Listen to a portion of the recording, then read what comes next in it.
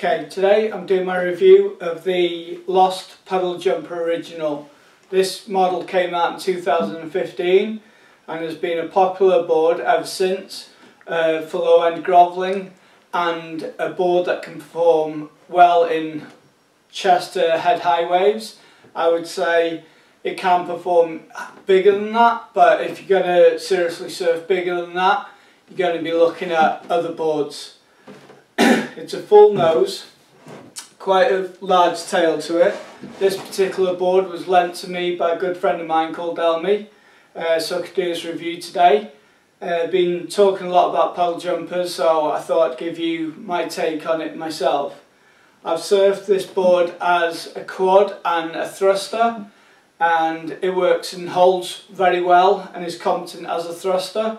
But for me, I would definitely go quad on it especially with it being a groveler, it's best as a quad. I've got a straight edge here to look through the curves at the bottom of the board, what we see going through. So starting in the nose, quite flat, going through the nose, going into a single concave now. Single concave, quite a deep single concave. Coming into the fins now, I can see a slight double in the beginning of the fins just here double, double, and starting to feel that V just on the start of the thruster box here. Get some V. Rocking all the way to the back, plenty of V in the tail. The reason for that V tail is so it can rock either side. So when you're going along the wave, it's going to let you do that, that, back and forward much easier than if it's flat or a single cave, concave all the way through the back. As you can see to my right here I have my go-to, one of my favourite boards ever, the baked potato. Now in the last review we did a lot of comparing the sweet potato to the baked potato. So just to make it fair and interesting I thought we're going to do a, a comparison between the the baked potato and sweet potato in a minute. I'll just uh, tell you how it felt as it, as it rode. It catches fairly easily. Uh, this model's the 510 at roughly 41 litres in volume and it worked really well. Gets in waves pretty early and carbon wrap technology works really well. It's really poppy. Uh, very impressed with the technology. This board's a couple of years old now and the deck is holding up pretty well. You can see there's a few repairs here and there, but overall it's holding up pretty well. So uh, what we'll do next, we'll dive straight in and compare the two boards rockers, one on top of the other. Okay, so this is now the two boards on top of each other. And as you can see now, the complete opposite to the baked potato to the sweet potato. This time we have the puddle jumper on top of the baked potato quite a bit of rocker compared I would say. And good you're shaving off a good two inches either side of the tail with the puddle jumper compared to the baked potato.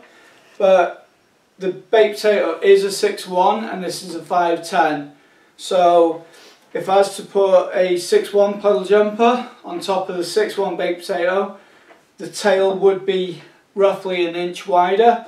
So that would take that that difference to one inch. Difference being with the baked potato it has a diamond tail. Now that's that shortens your rail line at the back of the board. So making the board essentially feel more like a 6.0 than a 6.1 because it's cutting down that rail line in the back of the board. The nose I would say that almost identical width wise very, very close. So in a 510, and it's got that much nose area, in a 510 compared to 6-1 baked potato, it's needless to say you can put more weight up on this nose and catch the waves a little bit earlier.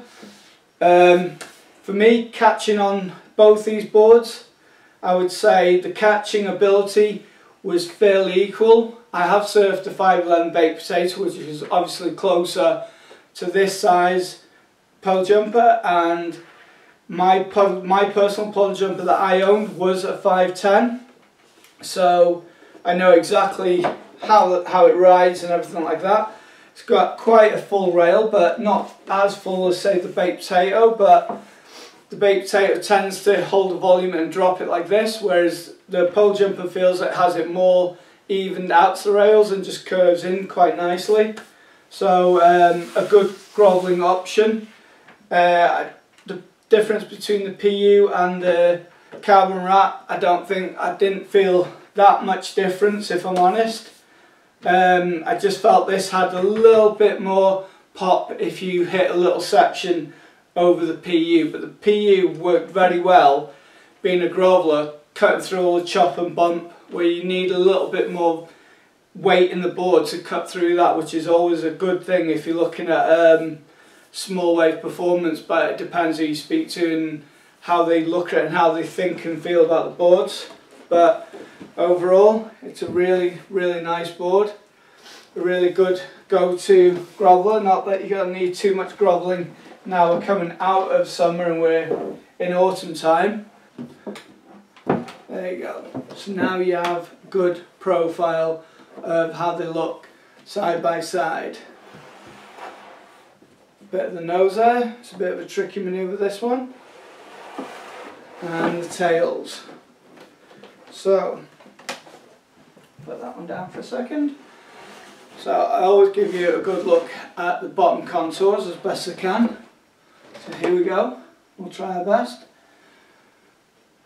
See how well we can see those contours. I've put it under the main light here so you can try and see that. See that single concave going into double into the V out the tail. So good little option for when the waves drop down a bit like today about two to three foot and nice and clean line but um, yeah so that's my take on the puddle jumper